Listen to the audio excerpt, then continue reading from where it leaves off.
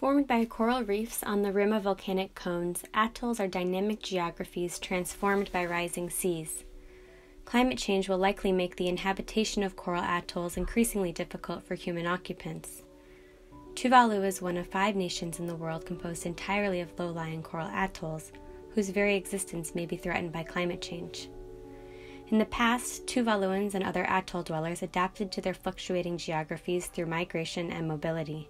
In spite of nation state boundaries, Pacific Islanders continue to migrate as a form of adaptation.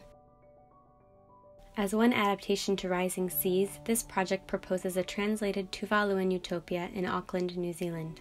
The New Zealand government has recognized the important role its islands can play as a site for those displaced by climate change in the Pacific and is in the process of creating a new visa category for climate refugees. Instead of replacing the atolls, whose futures, while threatened, remain uncertain, this alternative archipelago envisions an additional semi autonomous network for Tuvaluan cultures and livelihoods to flourish. The atolls and their whenua communities provide an organizing device for a system of housing, cultural space, and productive activities. A circular economy, driven by fish harvested in Tuvaluan waters and powered by a community owned wind turbine, links the communities and provides a degree of self determination.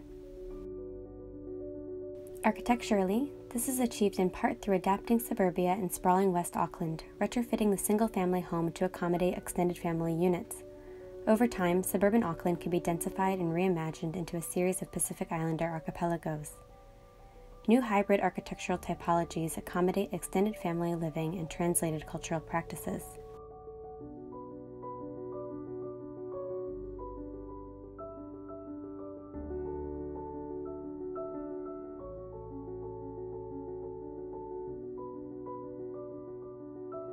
In addition to collective housing, this might include hybrid workshops which combine traditional crafts with modern technologies, a cultural performance venue, a Tuvaluan fishery, or a hothouse conservatory to propagate flora essential to atoll identities and cuisine, creating spaces within for communities to soak in the pandanus and coconut palms.